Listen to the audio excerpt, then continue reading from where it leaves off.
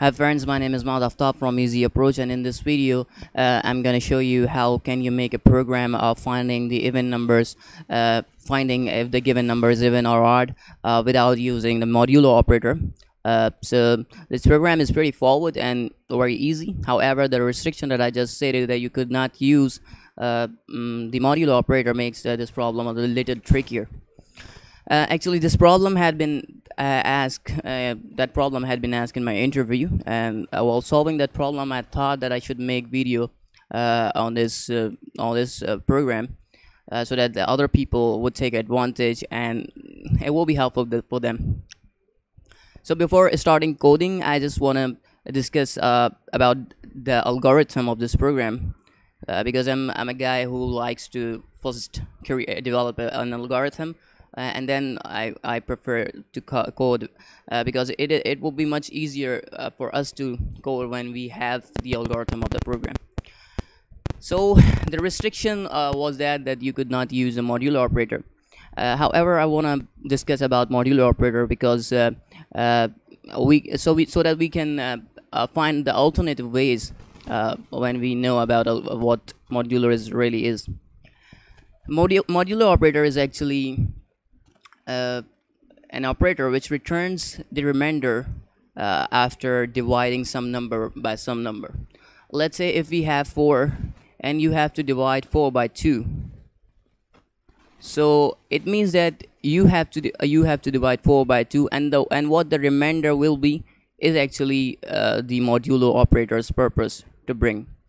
I mean uh, you would divide 4 by 2 and whatever the remainder would be it will be written uh, it would be returned uh, uh, to the module operator uh, or you can find the remainder by using module operator. So when we uh, when we make this program uh, i mean if, if there was there was no restriction you could do this program in the same way that you divide the given number by 2 and you just find the remainder and whatever the remainder is. If the remainder is 0 it means the number is completely divisible, divisible by 2 and thus the number is thus the number is even. And if the number is not divisible by 2 or the remainder uh, after dividing the number by 2 is 1 um, then the number would be odd so this is the basic way that you that you have been doing uh, this program. However you you could not use modulo operator anymore. So now let's talk about what division actually is uh, because you can uh, uh the division actually is the subtraction. Uh, and let's say if you have to divide 4 by 2 what does it actually means? It means you have to divide uh, 4 in twos and how many times you can divide 4 in 2s is actually the quotient of the division. And how many left is the remainder. Now let's take an example. Let's say we have c and uh, 6 and we have to divide 6 by 2 so it means you have to divide 6 in 2s and how many times you can divide 6 in 2s is actually the quotient. So you have divided 6 in 2s 3 times. I mean 3 times 2 makes 6 so it means the quotient will be 3 and as you can see that uh, the whole 6 is divided and nothing left. So that is why the remainder would be 0 okay. Um, so now let, let's take another example. Let's say we have 7 and we have to divide 7 by 2 you know that division uh, that uh, dividing 7 by 2 uh, would give you the quotient of 3 and the remainder uh, will be 1 because uh, 1 would be left and uh, it cannot be divided anymore. So now let's uh, doing it by subtraction method uh, or yeah subtraction method. So 7 can be divided div divided can be can be divisible by 2 in 4 times. I mean you can divide 7 in 2's writing 2's in 4 times. So 2 plus 2 is 4 4 plus 2 6 oh sorry. You can uh, you uh, 7 can only be divided in 2's 3 times and uh, the rem and after 3 times there is only 1 left and you cannot divide 1 in 2's because it is smaller than 2 so that is why the quotient will be uh, 3 as we get earlier uh, when we divide 6 by 2 and the remainder will be 0 sorry the remainder will be 1 I'm messing I'm messing up. So you can see that uh, we don't use uh, we didn't use actually the modulo operator in both of the cases.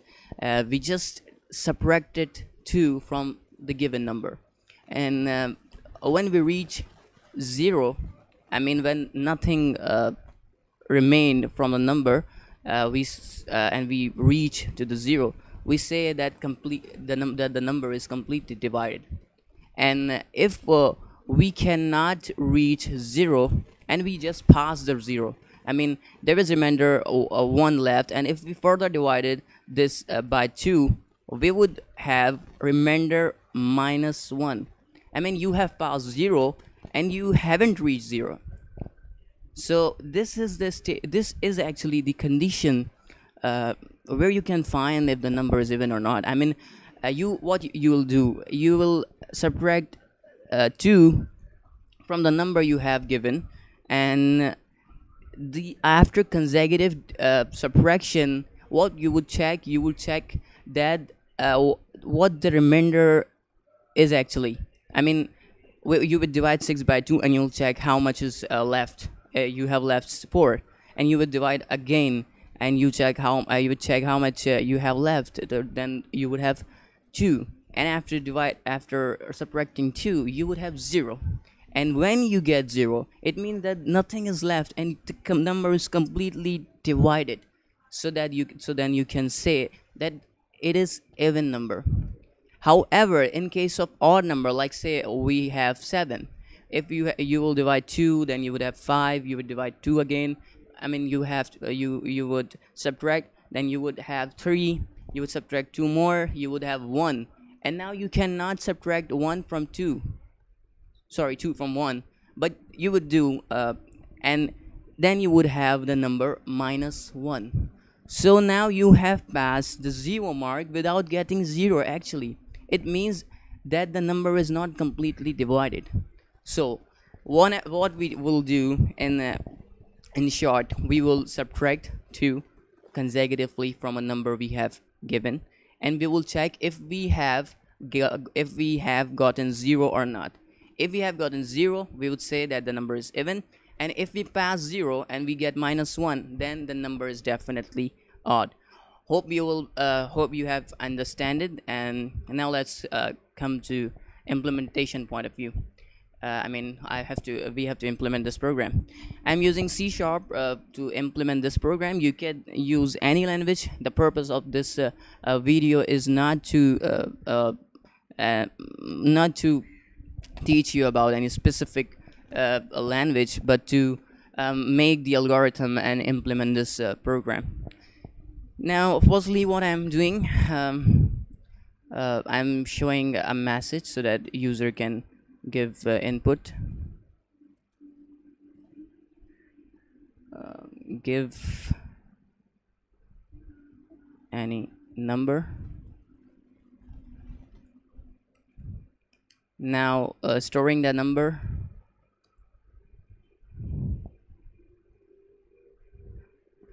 I hope you have a little idea of C sharp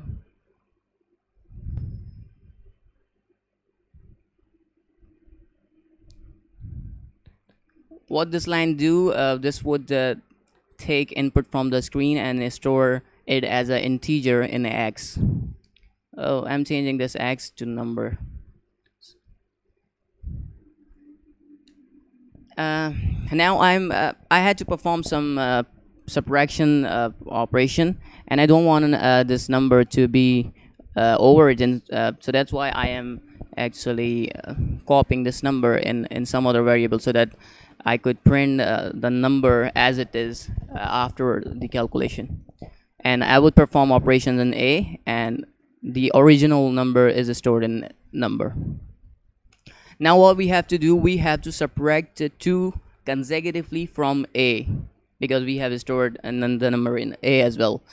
And we would check if uh, we got 0 or not. So uh, I'm using while loops to do consecutive subtraction. And what will be the condition? The condition would be whenever uh, or you could say while a is greater than equals to 0 whenever a will be greater or equals to 0 the subtraction operation uh, will be uh, will be done. Now in while loop i will check if a equals to 0 because if a 0 then you can straightforwardly say that number is um, even number. And okay. So I am writing here console dot write line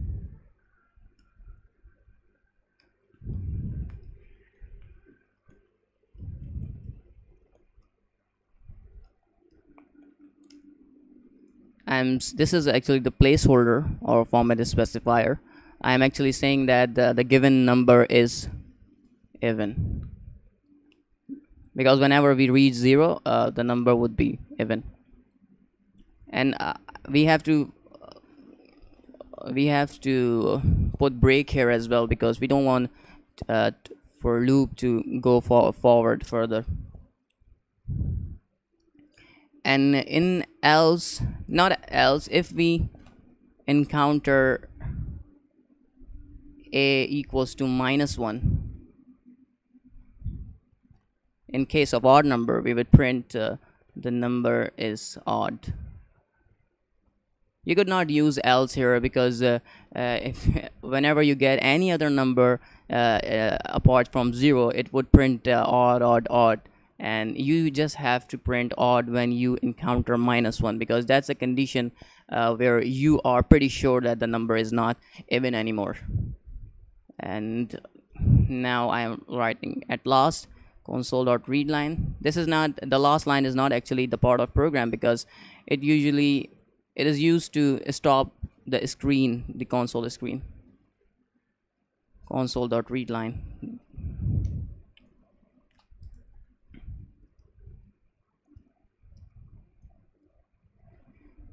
uh, now let's check the program.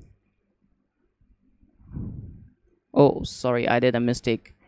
I have to define here uh, number because this uh, this placeholder uh, will show the value of this number. You could not miss this.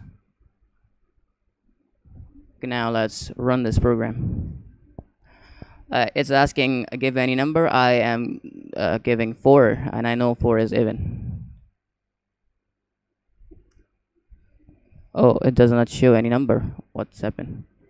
Whenever a is greater than equals to 0 oh I haven't subtracted this number by 2 and it leads to an infinite loop. A is equals to a minus 2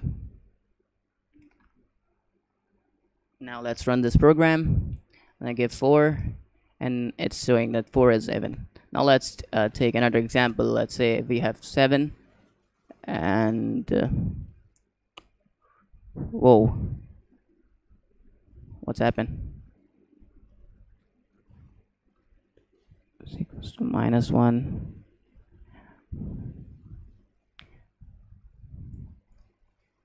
let's run again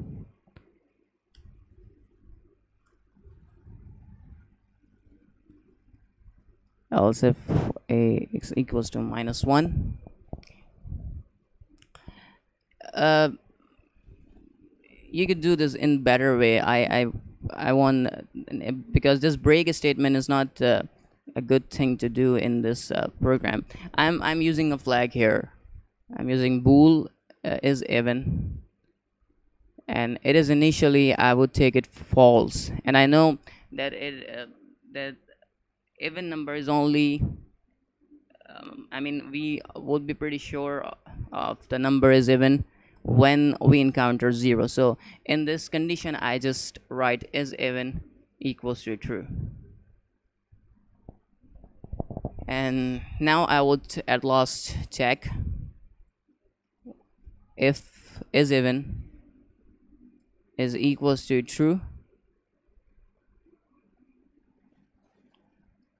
then the number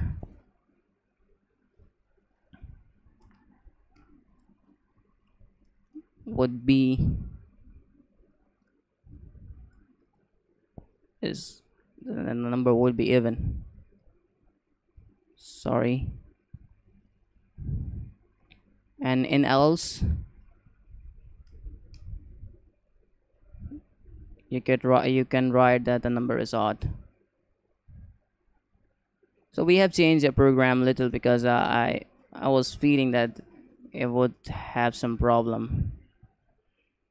I don't want to debug the because the, the the video length would be more.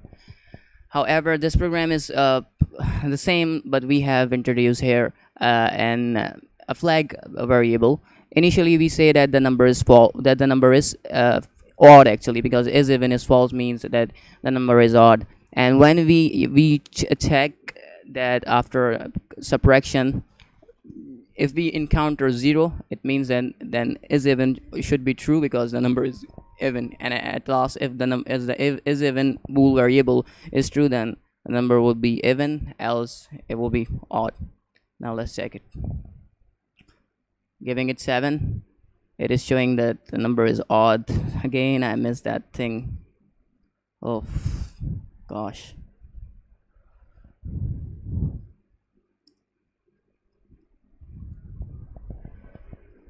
so after all the program is completed. Uh, sorry for the sorry for the the abrupt changing actually. Uh, so this is uh, this is it. Uh, you have created the program of finding even number without using modulo operator. What we have done we just uh, did uh, we just done by using by doing consecutive subtraction and after consecutive subtraction we just uh, wanted to find out if we have got uh, a zero or not. If we have got zero we can say that the number is even or if we have not uh, got zero and we have passed the this uh, range actually if we have gone through all the numbers from zero to that number and we uh, we didn't get zero so we could say that the number is not even. So that's it from uh, this video uh, if you like this video hit subscribe button and don't click to uh, uh, don't forget to click on the red icon. Thank you